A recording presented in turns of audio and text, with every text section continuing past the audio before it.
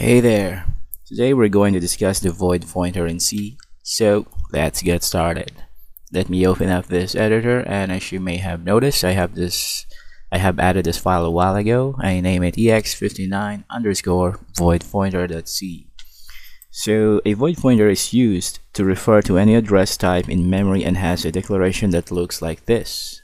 So void star pointer or pointer. So to better understand this, let me just show it to you by providing you an example. So let me go ahead and type this in real quick.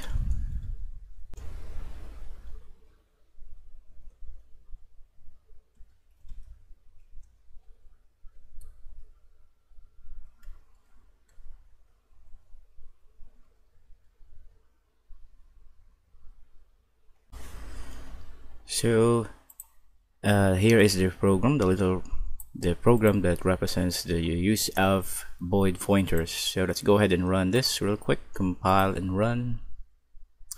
And void pointer points to 33, void pointer points to 12.400 or 12.4, void pointer or PTR points to A, which is correct.